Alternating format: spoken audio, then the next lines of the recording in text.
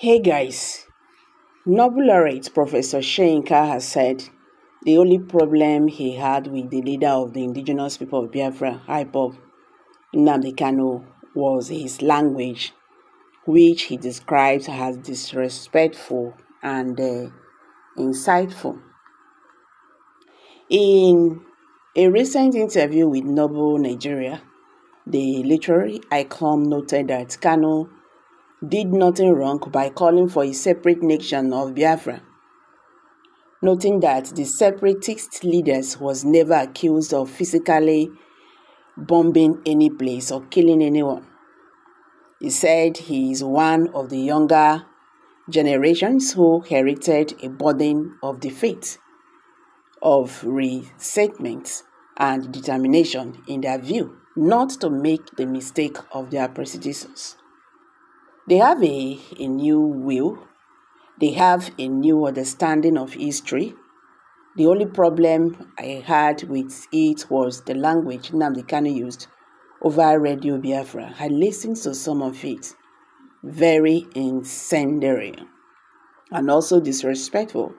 I thought of even his own people. I don't want to go into details, but all you have to do do is listen to it. I use a certain expression in recent contributions, those of us who stood on that side. We fought for a Biafra of conscience, and for me, that is very crucial. People like Nnamdi Kanu should not IPOB or MASSOB movement of the actualization of the sovereign state of Biafra, for that matter, should not act against what I call the core of humanity, which is one of conscience. In the interview, he also described the, the detention of Nnamdi Kanu by the Nigerian government as a mistake. Kanu was extraordinary rendition to Nigeria from Nairobi in June 2021 by the former president Muhammadu Buhari's administration with the help of the Kenyan government. The separatist leader has been detained by the Department of State Service since he was brought to Nigeria in June 2021 and is facing charges related to broadcasts alleged to have been made in furtherance of terrorism. However, Soyinka described the action of the Nigerian government as kidnapping.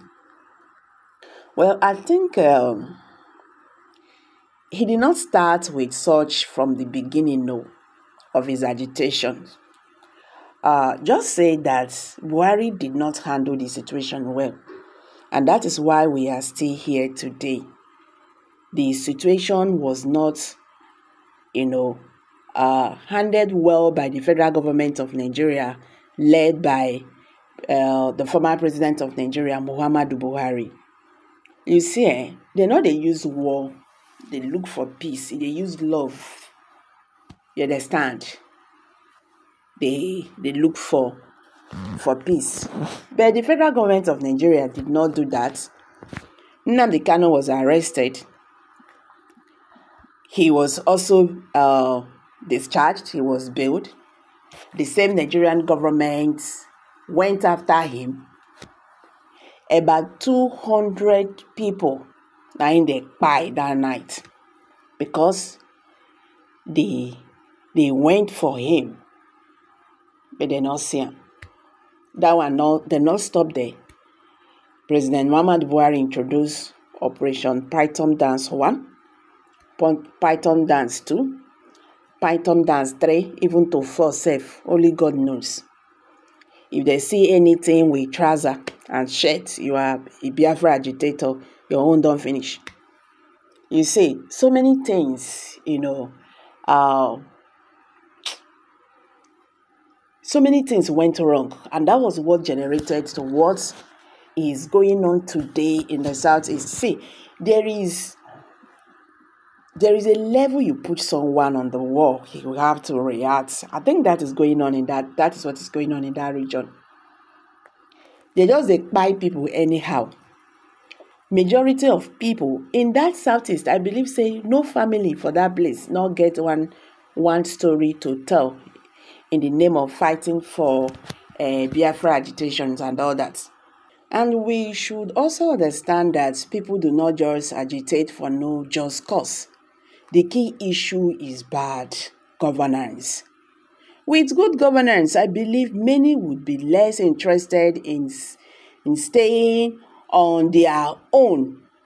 We all deserve good governance. Something missing that we have never heard. You understand? The government should look into all these complaints. You understand? Why are they agitating? See, eh, if you they handle any matter, not just say because you want to, you know, settle matter just like that, you can't they go the surface on the surface of the matter. No, it's very wrong. First of all, people are agitating. Why are they agitating? You understand? There is a reason why that is happening, and that should be, you know, considered why it's happening. Is wrong. Oh.